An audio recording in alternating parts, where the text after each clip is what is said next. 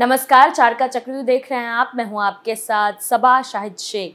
नेता हो या अपराधी, आतंकी हो या जिहादी, जो भी गलत करेगा, वो चक्रव्यूह के चक्र से नहीं बचेगा। उनके कारनामों को एक्सपोज करूँगी। एक एक करके पूरी डिटेल में इनके गुनाहों का काला चिट्ठा खोलूँगी। तो चलिए बताते हैं आज के वो कुछ नाम जो चक्रव्यूह के चक्र में आ गए। वो है यूनिफॉर्म सिविल कोड दूसरी खबर में बात लव जिहाद की, तीसरी खबर में बात अखिलेश यादव की। चौथी खबर में बात मुख्तार अंसारी की। सबसे पहले बात यूनिफॉर्म सिविल कोड की। उत्तराखंड के बाद अब उत्तर प्रदेश में भी यूनिफॉर्म सिविल कोड को लेकर चर्चाएँ काफ़ी तेज हो गई है। माना जा रहा है कि योगी सरकार जल्द ही इस मामले पर कोई बड़ा फैसला ले सकती यूपी राज्य विधि आयोग पहले ही समान नागरिक संहिता लागू करने पर सहमति दी गई थी। लेकिन अब देश में यूसीसी को लेकर जिस तरह का माहौल बन रहा है उसके बाद विधि आयोग एक बार फिर से एक्टिव हो गया।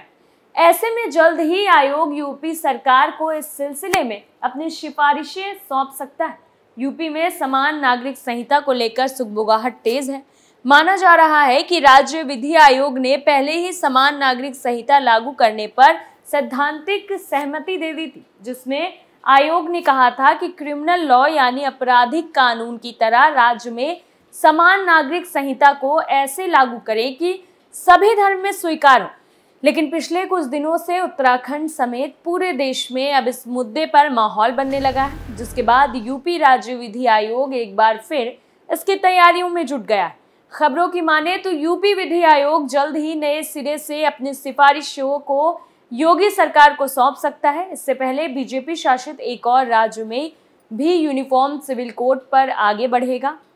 इससे पहले उत्तराखंड में कॉमन सिविल कोड पर बात काफ़ी आगे बढ़ चुकी है। उत्तराखंड ने यूसीसी पर एक विशेष समिति का गठन किया था, जिसने राज्य में लाखों लोगों से राय मशवरा करके इस सिलसिले में अपनी रिपोर्ट भी राज्य सरकार को सौंप दी।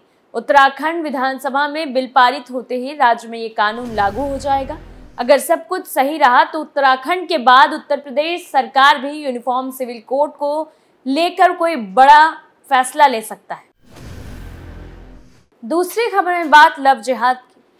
उत्तर प्रदेश में लव जिहाद का एक नया मामला सामने आया है। अलीगढ़ से आकर यहाँ रह रहे अब्बू अंसारी नाम के युवक पर आरोप है कि उसने अमित नाम बताकर हिंदू लड़की से दोस्ती की और फिर उसका ब्रेन वॉश कर निकाह किया। इसके बाद आरोपी ने पीड़िता को खूब प्रताड़ित किया। पीड़िता ने कोर्ट में केस कर दिया। इसमें आरोपी हार गया तो अलीगढ़ से भागकर बरेली आ गया।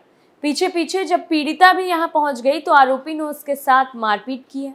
पीड़िता ने इस सिलसिले में बरेली के बरादरी थाने में तहरीर दी है। पुलिस ने तहरीर के आधार पर मामले की जाँच शुरू कर दी है।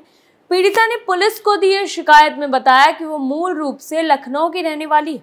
लखनऊ में ही पढ़ाई के दौरान साल 2006 में उसकी मुलाकात अलीगढ़ के रहने वाले अबू आमिर अंसारी से हुई थी। उस समय आरोपी ने अपना परिचय हिंदू नाम अमित के रूप में दिया। आरोपी ने पहले उसे प्रेम जाल में फंसाया और फिर ब्रेन वॉश कर अलीगढ़ के गौसिया मस्जिद में निकाह कर लिया। इसके बाद जब वो आरोपी के घर पहुँची तो एक तरफ़ उसने अपने घर वालों से रिश्ता तोड़ लिया। वहीं ससुराल वालों ने न केवल उसे प्रताड़ित करना शुरू कर दिया, बल्कि घर से निकाल भी दिया। परेशान होकर उसने आरोपी और उसके परिवार के खिलाफ पुलिस में केस दर्ज किया। पीड़िता ने बताया कि इस मामले में उसे जीत मिली और कोर्ट ने अलीगढ़ वाला मकान उसके नाम करने के आदेश दे दिए। लेकिन आरोपी उस मकान में ताला लगाकर बरेली भाग गया। ऐसे में वो भी उनके पीछे पीछे बरेली आई, लेकिन यहाँ आरोपियों ने उसके साथ बुरी तरह से मारपीट की। इस सिलसिले में पीड़िता ने पुलिस में शिकायत दी है। उधर सोशल मीडिया में इस सिलसिले में एक वीडियो भी वायरल हो रहा है। पीड़िता के मुताबिक आरोपी ने अपनी बहन रानी उम्मे हबीबा और भाई अबू सईद को भी निकाह से पहले उससे मिलवाया लेकिन इनका भी हिंदू नाम ही उसे बताया गया बरेली के बरादरी थाना प्रभारी हिमांशु निगम ने बताया कि शिकायत के आधार पर मामले की जाँच कराई जा रही जो भी तथ्य सामने आएँगे, उसके मुताबिक आगे की कार्रवाई होगी। तीसरी खबर में बात अखिलेश यादव की। उत्तर प्रदेश के मऊ ज़िले की घोसी विधानसभा सीट पर उपचुनाव होने में अब कुछ ही समय रह गया है। इस उपचुनाव में मुख्य रूप से दो पार्टियों के बीच कड़ी टक्कर देखी जा रही। समाजवादी पार्टी के प्रत्याशी सुधाकर सिंह तो वहीं सीट से विधायक रह चुके। बीजेपी प्रत्याशी दारा सिंह चौहान के बीच इस सीट को लेकर कड़ी टक्कर देखने को मिल सकती। फ़िलहाल आगामी लोकसभा चुनाव से पहले जनता के मन को परखने के लिए सत्तारूढ़ और विपक्ष दोनों ने ही चुनाव जीतने की ज़ोर आजमाइश कर रखी है। ऐसे में आए दिन पक्ष और विपक्ष के नेता एक दूसरे पर निशाना साधते नज़र आते हैं।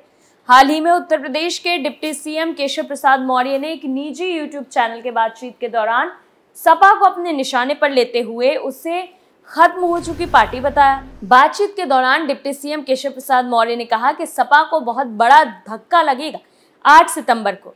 जब यहाँ की जनता का आशीर्वाद भारतीय जनता पार्टी के प्रत्याशी दारा सिंह चौहान को, कमल के फूल को खिलाकर प्राप्त होगा।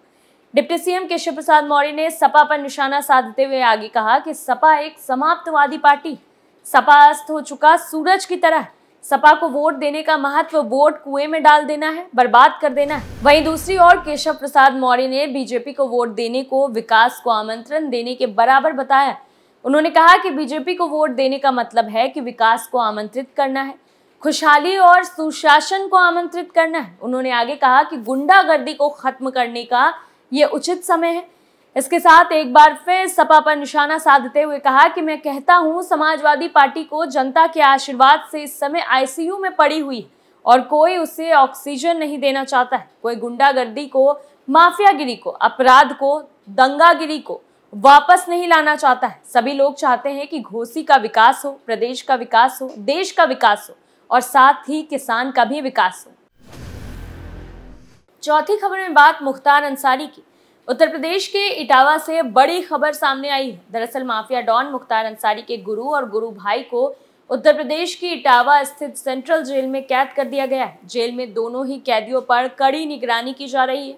वहीं मिली जानकारी के अनुसार माफिया मुख्तार अंसारी के गुरु और गुरु भाई को गाजीपुर से कड़ी सुरक्षा के बीच इटावा सेंट्रल जेल के स्पेशल सिक्योरिटी सेल में कैद कर दिया गया। इटावा सेंट्रल जेल के वरिष्ठ जेल अधीक्षक डॉक्टर रामधनी ने बताया कि भीम सिंह और हरिहर सिंह को सेंट्रल जेल में शिफ्ट किया गया है। उनको स्पेशल निगरानी में रखा गया है। उनसे मिलने के लिए सिर्फ़ परिवार के ही व्यक्तियों को अनुमति है। लोकल इंफॉर्मेशन यूनिट और जेल के अधिकारियों के समक्ष ही उनके परिवार की मुलाकात कैमरे की निगरानी में करवाए जाने के निर्देश हैं। वही जानकारी के अनुसार मुख्तार अंसारी के गुरु और गुरु भाई के इटावा की सेंट्रल जेल में कैद होने के बाद पुलिस और प्रशासनिक अधिकारियों की ज़िम्मेदारी कहीं ना कहीं बढ़ जाने की उम्मीद जताई जा रही। शासन के निर्देश पर माफिया डॉन मुख्तार अंसारी के गुरु और गुरु भाई गाजीपुर से कड़ी सुरक्षा के बीच लाकर कैद कर दिया गया। भीम सिंह और हरिहर सिंह नाम के दोनों सजा याफ्ता कैदी दोनों कैदियों की उम्र साठ और पैंसठ साल के आसपास मानी जा रही। वहीं जेल अधिकारियों के अनुसार दोनों कैदियों से अगर उनके परिजन या नजदीकी मुलाकात करने आएँगे तो जेल अधिकारियों के साथ साथ स्थानीय सूचना इकाई के अफसर की मौजूदगी में वीडियो कैमरे की रिकॉर्डिंग के बीच मुलाकात कराई जाएगी। जेल मैनुअल के मुताबिक दोनों कैदियों से जुड़े हुए मुलाकातियों की मुलाकात कराई जाएगी। आपको बता दें, तीन अगस्त उन्नीस सौ इक्यानवे को कांग्रेस पार्टी के मौजूदा अध्यक्ष अजय राय के भाई अवधेश राय की हत्या कर दी गई। इस मामले में माफिया मुख्तार अंसारी और भीम सिंह समेत कई अपराधी नामजद किए गए थे। पिछले दिनों अवधेश राय हत्याकांड में भी भीम सिंह को उम्र कैद की सजा सुनाई गई है। हालाँकि मुख्तार अंसारी का मामला न्यायालय में विचाराधीन है। बताया जा रहा है कि इटावा सेंट्रल जेल में करीब 480 सजा याफ्ता कैदियों को रखा गया है। लेकिन बाहुबली मुख्तार के दोनों ही साथियों को सेंट्रल जेल के एक अलग सेल में रखा गया। इटावा पुलिस और प्रशासन पूरी तरह सतर्कता बरतते हुए इटावा ज़िले की माहौल सेंट्रल जेल उत्तर प्रदेश को छठवीं सेंट्रल जेल ये यूपी की सभी पाँच सेंट्रल जेल से सबसे हाईटेक जेल में शुमार है। यही वजह मानी जा रही है कि इटावा के सेंट्रल जेल में कुख्यात अपराधियों को रखा गया है। फ़िलहाल के लिए चार का चक्रव्यूह में इतना ही। देखते रहिए कैपिटल टीवी, उत्तर प्रदेश। नमस्कार।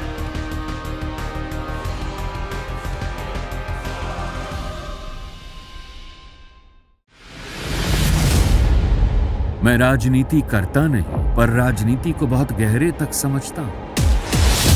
मैं लोगों के बीच रहता हूँ। लोगों के मन को अच्छे से जानता हूँ।